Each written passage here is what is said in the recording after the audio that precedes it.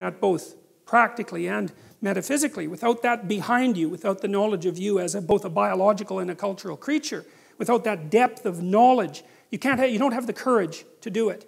You, because you don't know what you are, what you could be. And so without that, because you're a historical creature, you know what? Students ask me sometimes, why study history? It's like, well, because history is about you. That's why. It's like history tells you who you are. You can't tell who you are because you only live a little while. How the hell can you figure out who you are?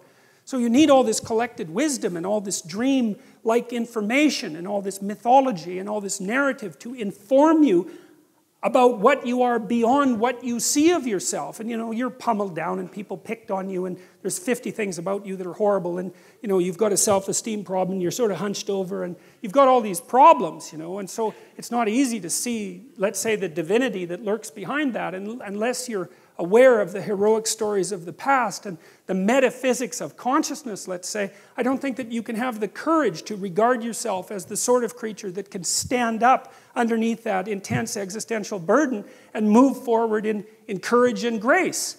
And of course, that's part of the reason that I'm talking about these biblical stories. And it's 9:30, so we're going to have to stop.